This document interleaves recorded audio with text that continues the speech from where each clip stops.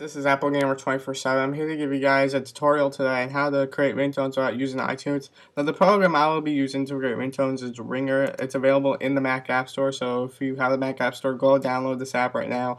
It's uh, totally free and it's another one uh, free app in the App Store as of this recording. So basically, what this program allows you to do is it lets you to take uh, certain, uh, actually all your songs from iTunes, even some of your movies from iTunes, and actually let you um, take the waveforms and actually create a ringtone out of it. So once you open it up, um, you get this really, really nice simple interface. It, sa it says uh, select a song or a movie to make it into a ringtone. So I'm going to go into the artist section and I'm going to scroll down to here. This is a song I use for iDrew360. So after I select the song, it loads the song up in these waveforms so I can um, pick my ringtone out exactly how I want it. So uh, just go to a certain part of the song you like. I'm going to just choose um, a certain song. Now you guys can take a lot more time with this than I can. I'm just I'm doing this quickly for a video. So I'm gonna bring the waveform up a little bit and just cancel that down here.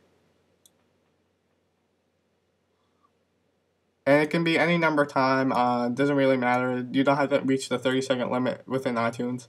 Uh, it automatically converts it into a 30 second ringtone. So um, keep going.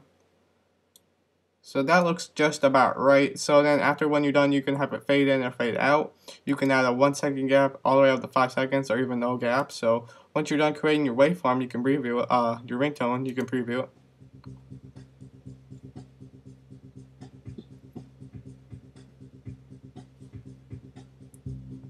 Alright, so after, say you like it there, say you're done, just hit create then what it would do is that it would open it up in iTunes. So right here is the ringtone I just created. And once you sync your iPhone 4 or iPhone 3GS to it, uh, make sure ringtone selected. And then you guys should be good to go. So you guys can um, use this as a uh, ringer tone. There's no um, version for text tones. You really can't change your text tones on your iPhone. So that's basically about it, guys. Hope you guys enjoyed, and I will see you later.